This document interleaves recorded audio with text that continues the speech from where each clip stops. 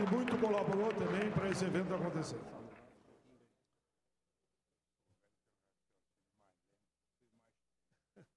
Ele disse que como ele tem uma idade maior que a minha, que estavam disputando eu, o desembargador, e quem era que tinha mais idade aqui. Eu quis ganhar dela, mas ela me ganhou por dois aninhos só. Por dois aninhos. E o Calixto que ganha de mim. Então ele está pedindo que eu seja tolerante com ele. Presidente da Nova Central, José Calixto, com a palavra.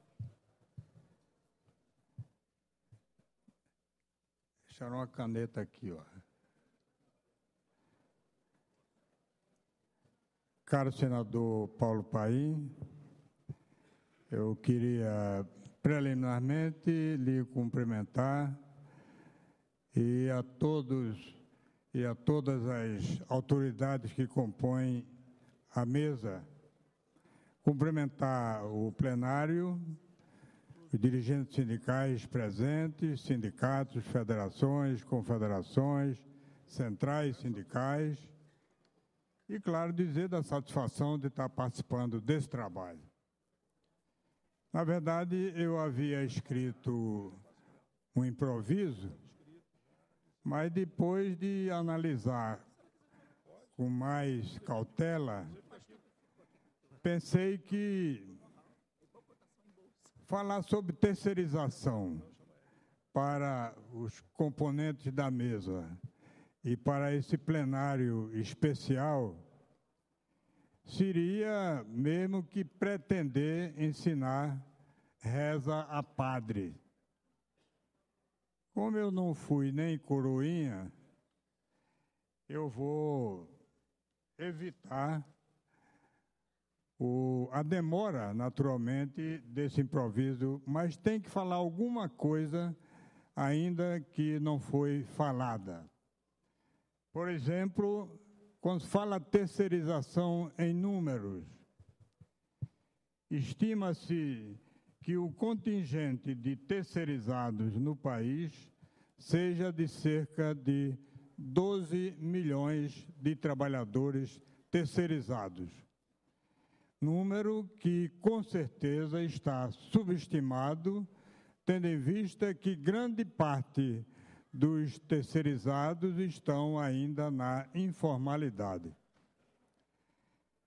Quem são os trabalhadores terceirizados? Homens e mulheres que permanecem 2,7 anos a menos no emprego, comparativamente ao trabalhador contratado diretamente. Os trabalhadores terceirizados têm maior jornada de trabalho semanal, com três horas a mais em relação aos contratos diretos. Ganham aproximadamente 25% menos do que os contratados de forma direta e estão vulneráveis aos acidentes de trabalho, considerando que a cada 10 acidentes, oito ocorrem entre terceirizados. Mais um dado que é importante chamar a atenção é o efeito da terceirização para os trabalhadores, que de, de certa forma já foi exposto aqui por vários dos oradores que me antecederam. Mas nós poderíamos levar em conta já a redução de salários e benefícios, o aumento de jornadas de trabalho, a instabilidade no emprego, maior rotatividade, quebra da solidariedade entre trabalhadores, piora as condições de saúde, segurança no ambiente laboral desorganiza a representação sindical e diminui a qualificação da força de trabalho. Para os empregadores, a primeira vista, sem precisar analisar muito profundamente, o que é que resulta? a redução de custos ou a transformação de custos fixos em custos variáveis. E aí vem uma pergunta que creio que todos têm a resposta. Ora, se nós temos uma legislação que rege as relações de capital e trabalho, devidamente consolidada através da CLT e da própria Constituição da República. Por que o empresário reluta tanto para desprezar esse texto consolidado e partir para o contrato de trabalho terceirizado? Salvo melhor juízo, a resposta é exatamente porque o trabalho terceirizado diminui custos da mão de obra e a consequência da redução dos custos, a nosso juízo, é o aumento do lucro. Sinceramente, eu não vejo nenhuma outra resposta com relação à terceirização. E ainda mais, enfraquece a organização dos trabalhadores, exatamente por meio da pulverização das atividades em diversas empresas de menor tamanho, o que dificulta a capacidade de mobilização e facilita o controle dos movimentos sindicais ainda burla, com certeza, as conquistas sindicais através da terceirização de atividades de forma a fragmentar a organização sindical. Então, esses pequenos detalhes que nós levantamos para nós que trabalhamos nesse projeto desde 2004. O projeto 4330 é de 2004, que tomou o número 30 nesta casa.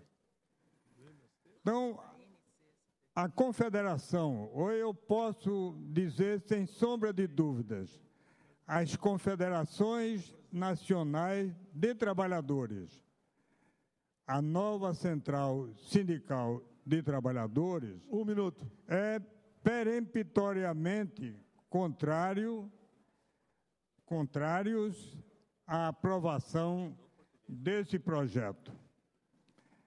Mas é preciso chamar a atenção também e ficar de olho nesta casa. Aqui tramita um projeto de terceirização pior do que o projeto que foi aprovado pela Câmara. É o projeto 87 do ex-senador Azeredo, de Minas Gerais, que tem como relator, hoje ministro da Indústria e Comércio, o senador Armando Monteiro Neto. Considerando essa dificuldade que temos de combater o, o, o, o projeto, as centrais sindicais terão na próxima segunda-feira uma reunião com todas as centrais, aonde discutiremos a possibilidade até de uma greve geral desde que todas as centrais estejam de acordo. Isso será decidido na próxima segunda-feira. Aí nós já faríamos um alerta e até um apelo aos dirigentes sindicais que participam deste ato. Para mim, falar sobre greve geral é muito fácil, mas quem para é o trabalhador lá no fundo da fábrica. É o sindicato de base quem tem esse poder de parar ou não parar o trabalho.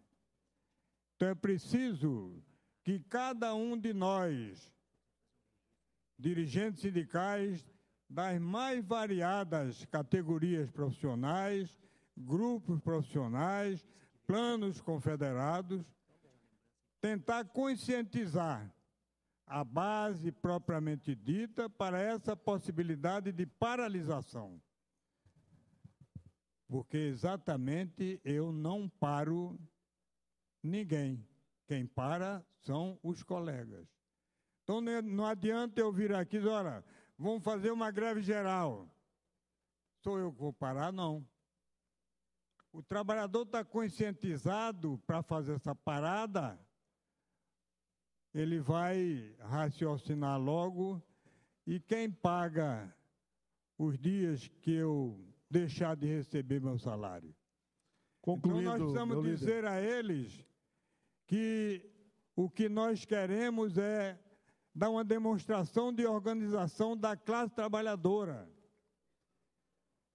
Não para receber o salário de um, dois dias que tiver que parar, mas para não ser mais prejudicados com a restrição de direitos, a dificuldade de acesso à própria Previdência Social, aos direitos da Previdência e a eliminação de vários direitos que nós conquistamos ao longo dos anos. Então, eu queria deixar aqui esse alerta e dizer ao senador Paulo Paim que o evento comandado por Vossa Excelência, que é exatamente esta sessão, naturalmente terá uma repercussão muito grande, porque aqui, através da organização das próprias confederações, que muitas vezes são relegadas da política de um modo geral, mas organizaram-se e estão aqui com todos os seus trabalhadores.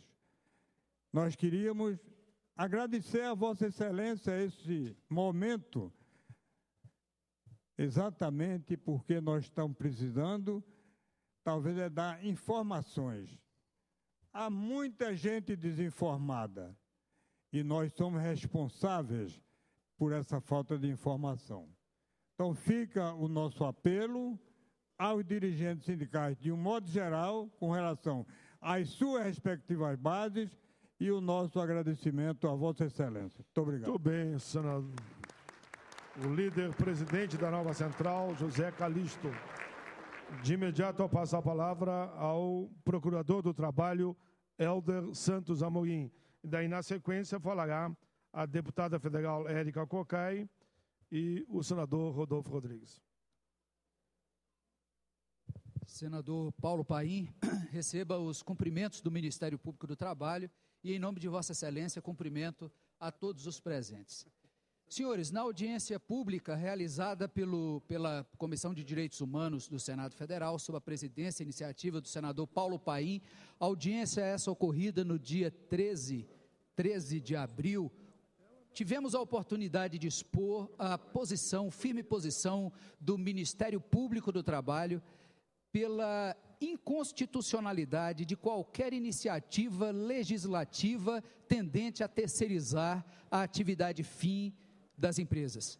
Foi uma oportunidade em que, com um pouco mais de tempo, pudemos expor, e, esse, e essa exposição ela está disponível na, no YouTube, inclusive aqui na, na TV Senado, no site, perdão, do Senado, e afirmamos a inconstitucionalidade antes de qualquer coisa, respaldados na posição do Procurador-Geral da República, que no recurso extraordinário 713-211, né, que tramita no Supremo Tribunal Federal, apresentou um parecer da lavra do subprocurador-geral Odim Brandão, do Ministério Público Federal, ratificado pelo Procurador-Geral da República, Rodrigo Janot, no sentido de que qualquer tentativa legislativa voltada a terceirizar a atividade fim fere frontalmente a Constituição da República em dois eixos fundamentais. Primeiro,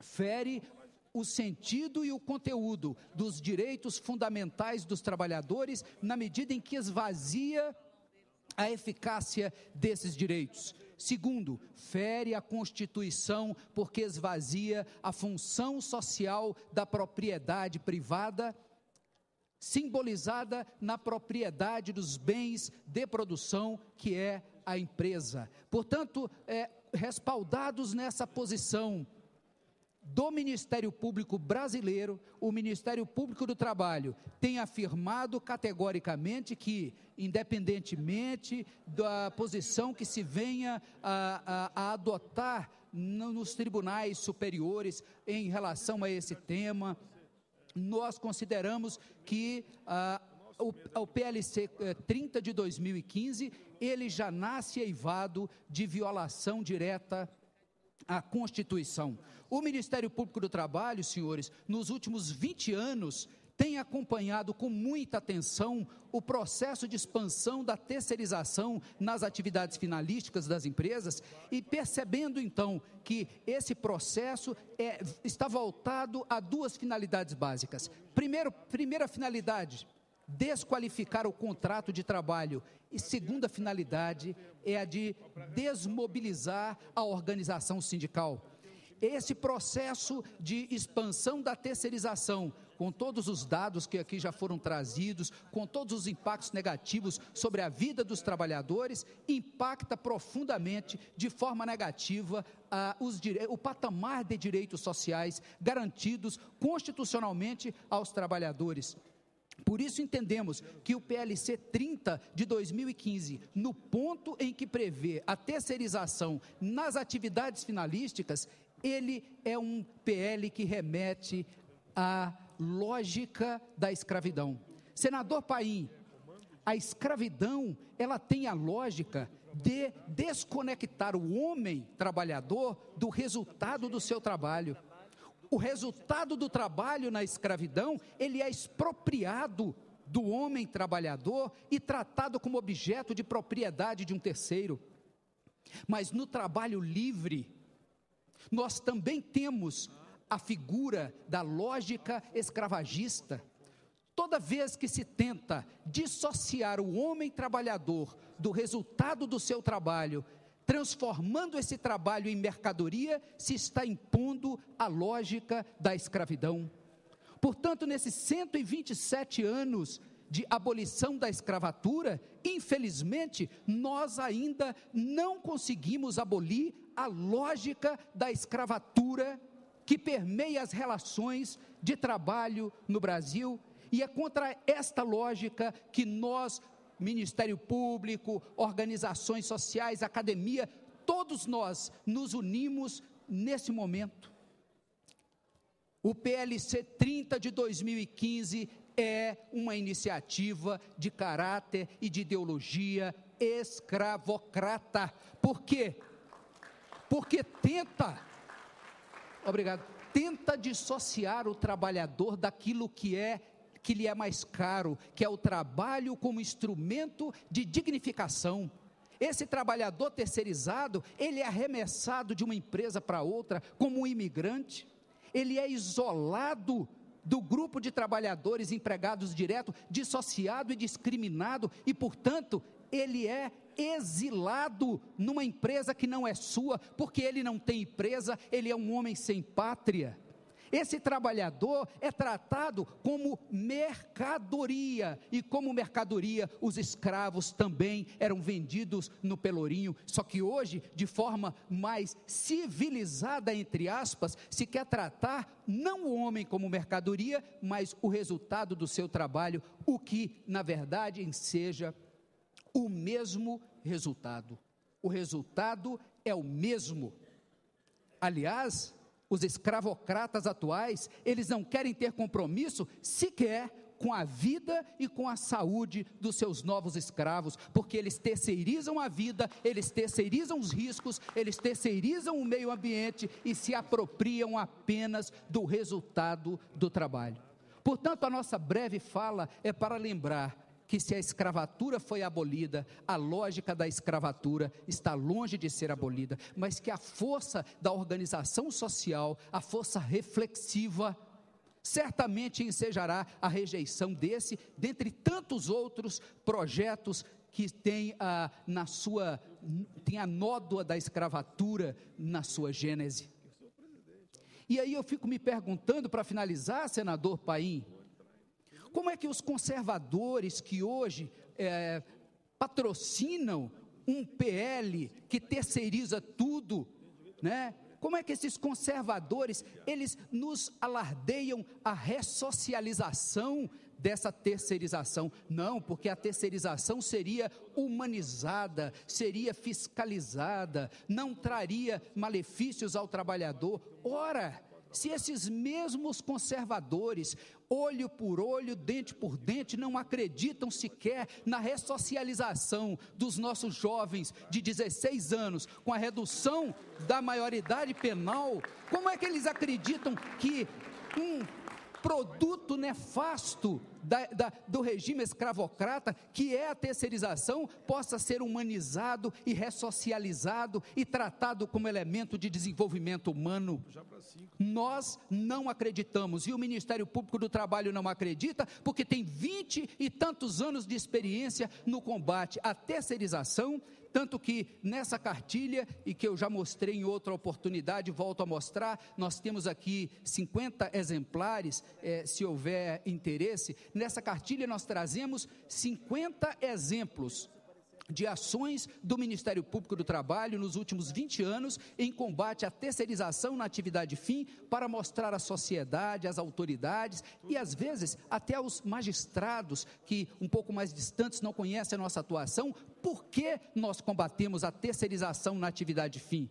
porque na verdade nós queremos integrar o trabalhador no espaço central da atividade produtiva, porque somente lá, um integrado a, a, vida da empresa, ele será capaz de obter do trabalho o resultado que dignifique a sua condição humana. Portanto, nós estamos aqui, Ministério Público do Trabalho e sociedade civil, unidos contra a terceirização na atividade fim, como uma manifestação de exigência de respeito aos direitos fundamentais dos trabalhadores. Respeitem a luta dos abolicionistas, respeitem a luta da causa operária, respeitem a luta de todos os que defendem os direitos dos trabalhadores, como auditores fiscais, juízes do trabalho, procuradores do trabalho, respeitem a Constituição cidadã e o sangue daqueles que perdão, que lutaram por essa Constituição democrática. Essa é a nossa palavra. Muito obrigado pela muito oportunidade. Bem, muito bem, doutor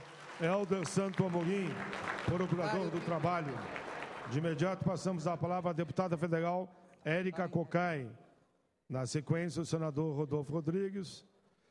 E em seguida, o Flávio Henrique Souza, do CONAD, seguido da Ana Matra, Guilherme Guimarães Feliciano. Doutor Guilherme Guimarães Feliciano.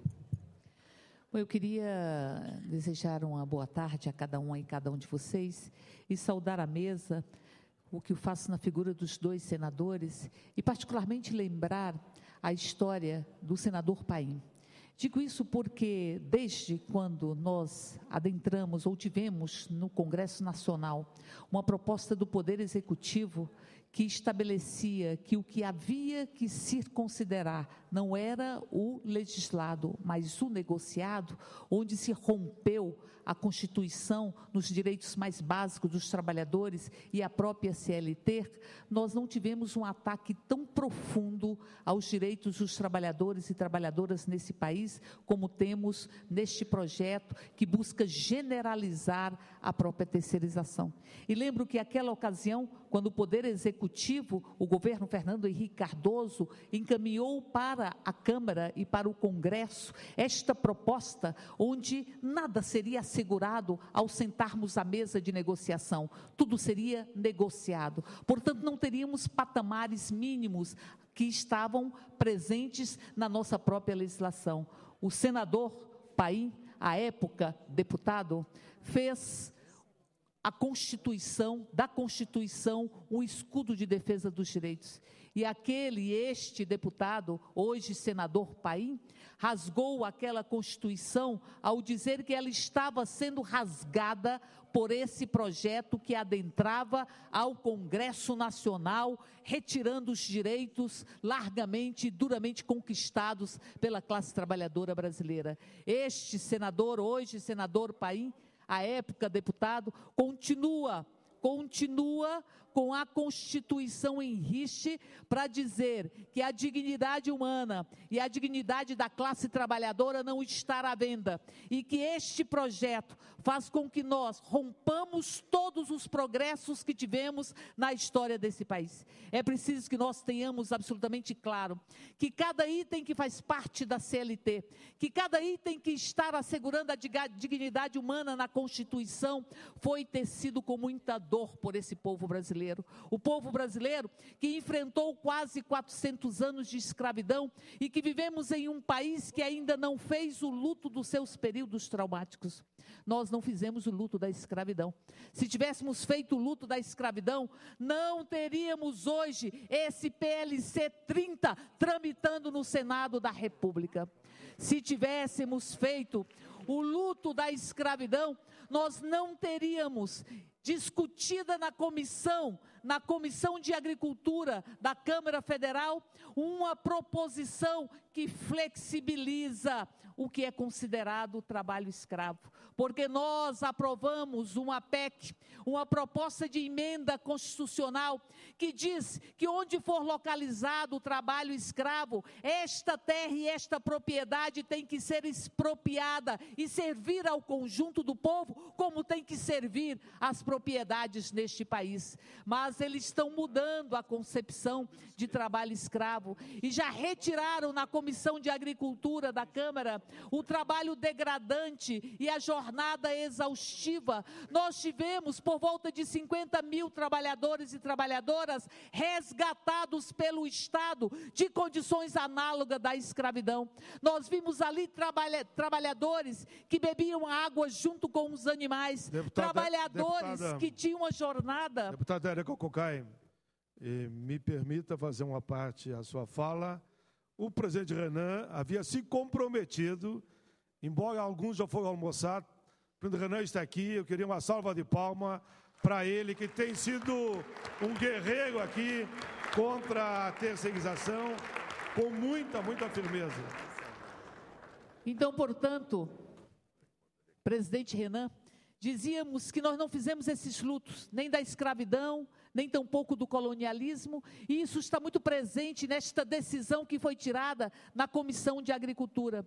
Isso significa que o trabalho análogo ao escravo vai ser considerado apenas o pelourinho literal e não o pelourinho metafórico que está em curso hoje e que se expressa neste projeto, nesse PLC 30 também. E digo isso porque quando surgiu a terceirização, disseram que ela era modernidade. Disseram que a terceirização era para que as empresas pudessem focalizar o seu nível de atuação e se dedicar de forma vertical à sua atividade fim, pois hoje eles querem terceirizar esta atividade fim e precarizar as relações de trabalho. Não há modernidade nisso. Não há modernidade nisso. Não há modernidade numa terceirização que faz com que os trabalhadores e trabalhadoras tenham em média uma jornada três horas superior à dos empregados, empregadas da empresa contratante. Não há modernidade em 80% dos trabalhadores